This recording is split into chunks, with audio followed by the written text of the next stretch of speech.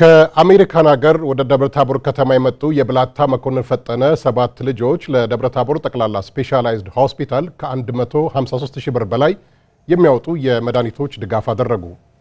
የመንግስትን ጥሪ ተቀብለው ከአሜሪካን ሀገር ወደ ሀገር ቤት የመጡት ዲያስፖራዎቹ ለአማራ የጸጥታ ኃይል አባላትም በየወሩ የገንዘብ ድጋፍ ለማድረግ ቃል ገብተዋል። በሆስፒታሉ በመታከም ላይ ለሚገኙ የጸጥታ ኃይሎችም ማዕድ አጋርተዋል። በውጭ ሀገራት የሚኖሩ ወገኖችን በማስተባበርም ደብረታቦርን ለማልማት እንደሚሰሩ ዳያስፖራዎቹ ገልጸዋል።